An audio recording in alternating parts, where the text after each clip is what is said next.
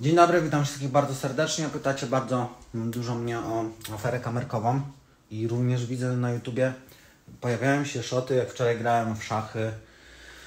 Yy, bo ja grałem w szachy ogólnie jak na live, jak cała ta drama się zaczynała.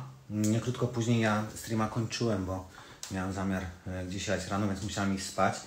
I w tamtym momencie jeszcze nie było do końca mm, wiadomo, czy to rzeczywiście była ta dziewczyna, e, o którą teraz posądzacie o to, tak? Czyli Natalia.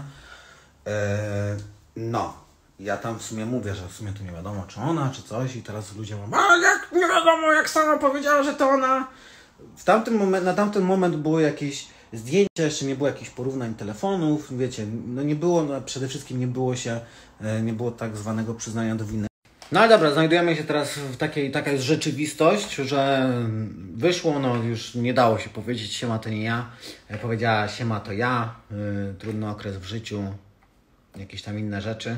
Znajdą się osoby, wiadomo, zawsze się znajdują osoby, które mówią, ok, spoko, rozumiem Cię, a z drugiej strony zawsze znajdzie się ktoś, kto powie, nieważne co by się nie działo, nigdy nie można zrobić tego i tego i tamtego, jakaś godność, dziewczyno. A co ja o tym sądzę? A ja sądzę o tym, znaczy zacznijmy od tego, że ja nie jestem jakoś specjalnie zdziwiony i to nie jest dlatego, że ja kogoś podejrzewałem o coś takiego, tylko no, no tak świat wygląda, nie?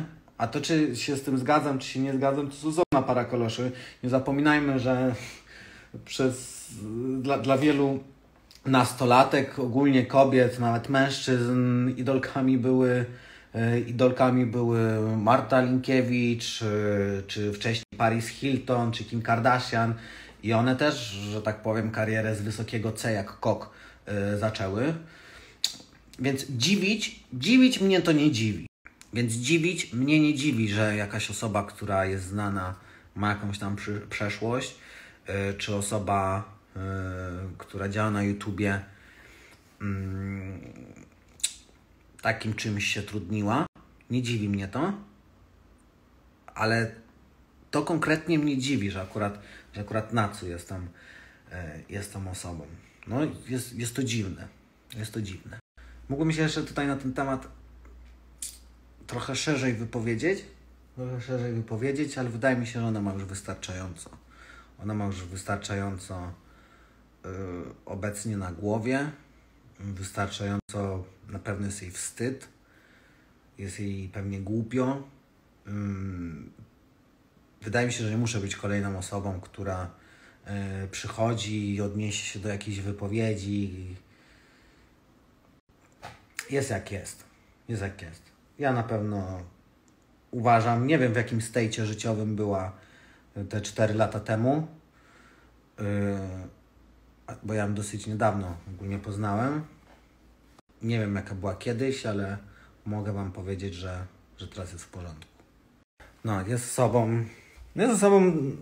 Ja zazwyczaj, tak jak zanim kogoś poznam, to szacuję, jaka ta osoba będzie.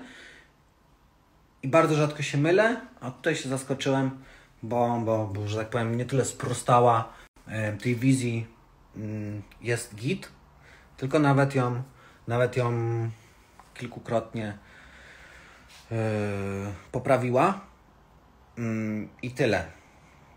Więc no, ja tak, ja tak jak mówiłem, no, ja, ja się zadaję z osobami, które, które wiecie, które różne rzeczy robią. Jeden kurwa nie handluje marihuaną, drugi kiedyś ukradł samochód, trzeci siedział za pobicie że różne grzeszki e, ludzie popełnili, więc ja akurat jestem osobą, która e, jest w stanie, jest w stanie, no, jeśli ta osoba rzeczywiście się zmieniła, jest w stanie się no po prostu nie patrzeć na to, tak?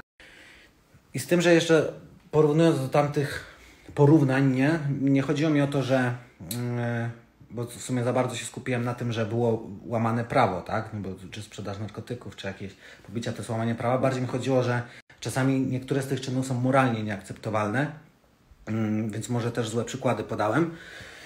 Yy, no, no być może jest to... Hmm, te camgirl, być może one są, no, nie jest jakieś... Yy, wiecie, moja córka będzie adwokatem, moja będzie lekarzem, moja będzie na... Może nie jest to wyśniona praca, tak, o której w młodości e, wszyscy marzą,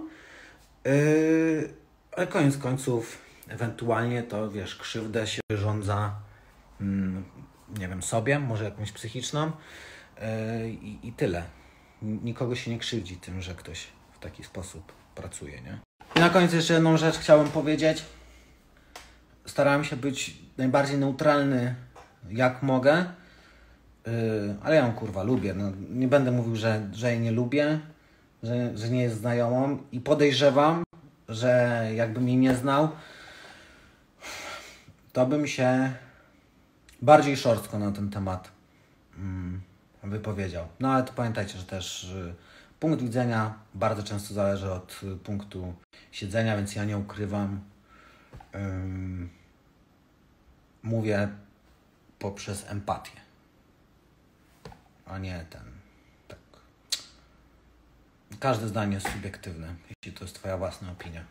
To jest moja projekcja.